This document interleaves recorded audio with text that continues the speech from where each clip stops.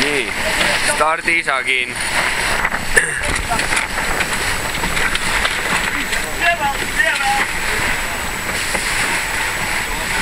Lähme, lähme, lähme, lähme.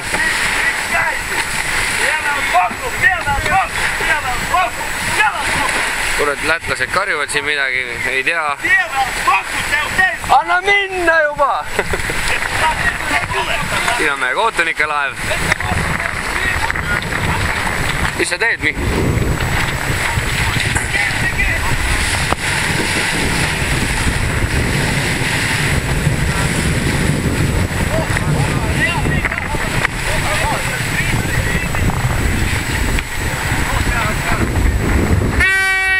Läksime.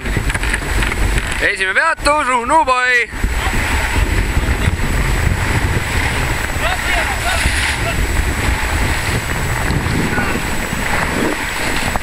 Seal on vähe rohkem pingeline.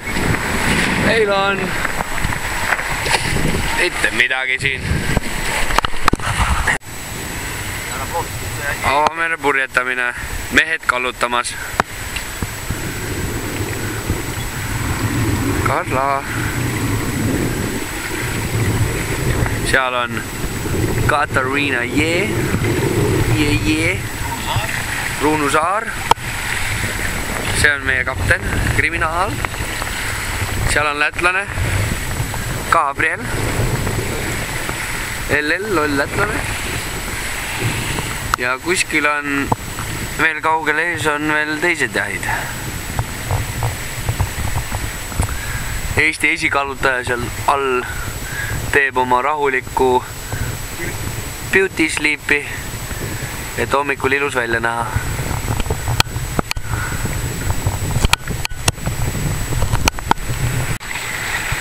Nonii, söök on tehtud, plekis on oldud vähemalt viis korda.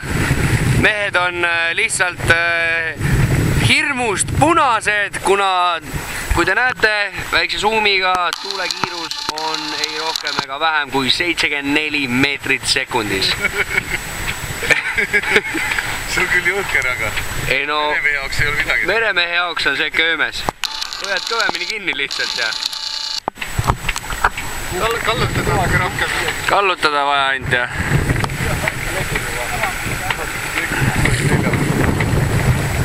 konkurendid paar tükki taga ja paar tükki ees.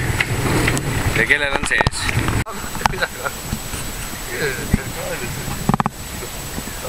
näe vaata, kenu peal on ka.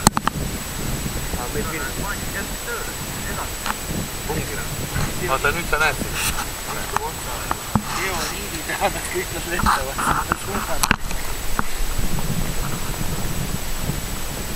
Neljaga kui enne videos on tehtud ja siis on väga ekspoositud.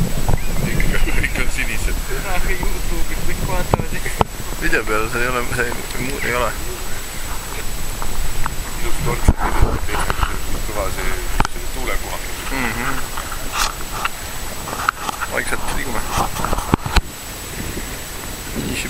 Блядь,